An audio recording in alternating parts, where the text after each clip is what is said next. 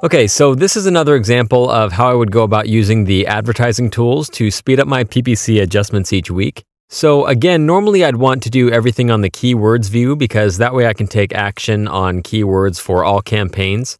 I'm going to click on keywords, then I'm going to click on views. I'm going to use the first view, biggest loss, and that's going to filter down these columns. Bid is greater than zero, spend greater than $10, and my tacos gain loss is less than zero. So I'm losing on all these guys. I actually want to go a little bit lower than this, so I'm going to put $5 which will give me a bit more keywords I'm losing a bit of money on. These top ones are the main ones I want to go after, as I'm losing the most here. But all these other ones as well, because I'm losing money and I'm not getting any sales. I'll go to Action, select All, and I'm going to lower the bid. I'm going to do 10%.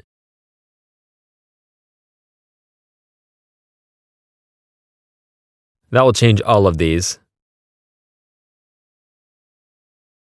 Now I'm going to go to largest gain. There's only a couple in here, so I want to do spend greater than zero because I want anything that's making me money. I only have those guys, and you can see I'm actually getting sales here. You see, these are all good. I want to increase the bids of these guys, so I can go to Action, select All, and 10%, and Raise. And that raised all those. Next, I'll select the View No Sale keywords. I want to check to see if I already made any adjustments to these today. I know I already made changes on these, so these are already covered in my previous view. What I'm going to do now is click this view, No Clicks Raise. This is one that I created myself. This has bid greater than zero, impressions greater than 100, and clicks equals zero. So now I can see which ones I want to raise the bid on because I'm getting impressions, but not getting any clicks yet, which means I'm getting exposure, free promotion. So I'm going to raise the bid on these by selecting all, then raise the bid by 10% because I want to get more exposure while it's free. And once I start to get clicks, I can then adjust the cost per click accordingly.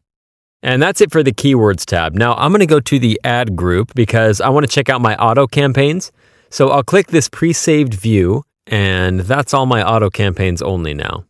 I can see this sorted by greatest loss here at the top, and the ones I'm gaining on are at the bottom. So I'm losing money on these here at the top. Let's see how much I'm spending. Okay, so these ones I'm not losing that much, so I don't particularly care, but these ones I'm losing more money. So really it's just these two that need some adjustment. I can either just take this and manually do it, or just go like this. Then click on Action and Lower.